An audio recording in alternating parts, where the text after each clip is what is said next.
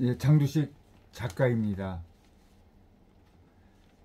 이번 시간에는 예, 경제 포커스에서 55년 전 세계은행 그 총재가 비웃었던 한국이라는 그 제목의 기사 내용을 따라가겠습니다. 13년을 검토했지요. 의사 결정이 미뤄지는 건 워낙 익숙한 일이라 그래도 조금 빨리 시작했더라면 얼마 전 만난 국내 방산업계 관계자의 말이 귓가에서 좀처럼 사라지지 않았다. 그가 말한 건 KF-21 사업, 우리 공군의 전투기 개발 프로젝트다. 2001년 3월 정부는 처음으로 국산 전투기 개발을 천명했고 이듬해 해인 2002년 11월 한국형의 전투기 개발이 국방 계획에 포함이 되었다. 하지만 그 이후 13년간 농정을 벌였고 전투기 개발 경험이 없었던 우리 전문가들은 그 사업 타당성 검토만 7번 진행했다. 지금 그 모든 것이 대부분 기후였음을 확인하고 있다.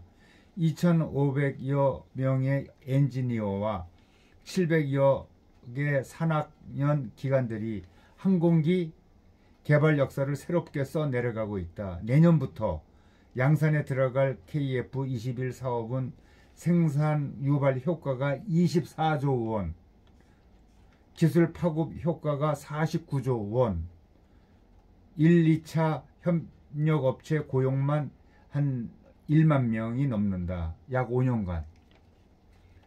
또 T50 고등훈련기 사업도 세계 시장에서 주목받기까지 수많은 난관이 있었다. 개발 초기 전문가들은 우리 기술 수준을 또 조롱하기도 했다. 이제 T50 계열 항공기는 우리 그 K 방산의 핵심으로 미 해군의 고등 전설 인문기 및 공군 전술 훈련기 사업에 뛰어들 정도다.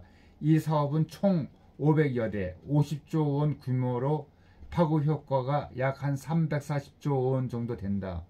흔히 한국 산업의 기적을 이야기할 때 그 반도체, 또 휴대폰, 제철소, 조선소를 꼽지만 방위산업도 무시하면 안 된다. 6.25 전쟁 때 소총 함자로 못 만들던 나라가 방산 누적 수출액 100조 원을 돌파를 그 바로 눈앞에 또 두고 있다. 기적이란 이런 걸 두고 일컫는 말일 것이다.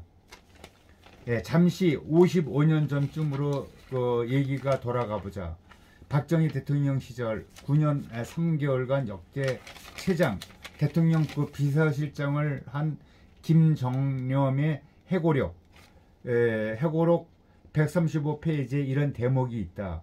세계은행 총재이던 예, 유진 블랙 씨는 IMF 연차 총회 연설에서 개발 도상국에는 세 가지 신화, 가 있다. 세 가지 신화, 헛된 꿈이 있다는 얘기죠. 첫 번째는 예, 고속도로 건설, 두 번째는 종합제철 건설이고 세 번째는 국가 원수의 기념비 건립이라고 말했다.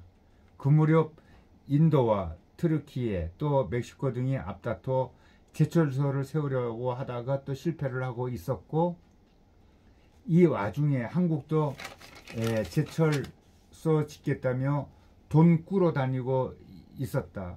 세계적 경제 석학이더 세계적 경제 석학이기도 했던 유진 블랙의 전망을 무색하게 만든 것은 박정희와 정주영, 박정희와 또 박태준 콤비가 주역으로 나선 그 맨땅의 헤딩의 그 기적이었다. 맨땅에 헤딩하면 개발시대 막무가내식 밀어붙여 그 치부했지만 꼭, 꼭 그렇지만은 않다. 매사를 맨 땅에 헤딩식으로 밀어붙이는 건 기자도 또 반대한다. 하지만 역사의 길이 남는 일이란 대부분 불가능해 보이는 일이었다. 코로나 팬데믹을 그나마 초기에 진화시켜준 우리 그 백신을 봐라. 당시 세계적 의학자, 보건학자들의 어록에는 코로나 백신 개발은 단기간에 불가능하다는 그 장담들이 차고도 넘친다. 세계 세상을 바꾼 것들에는 대부분 이런 또 가감하고 신속한 에, 도전이 에, 숨어 있다. 저출산 고령화를 물려줄 우리는 미래 세대에게 짐을 지우고 떠나는 슬픈 운명을 안고 있다. 그런 우리에게 최소한의 책무는 있을 것이다. 그 출발점은 55년 전부처럼 지금은 불가능해 보이는 것이라고 생각한다. 새로운 도전 앞에 따르는 망설임이 어떤 부작용이 있는지 모두 또 다 잘 안다.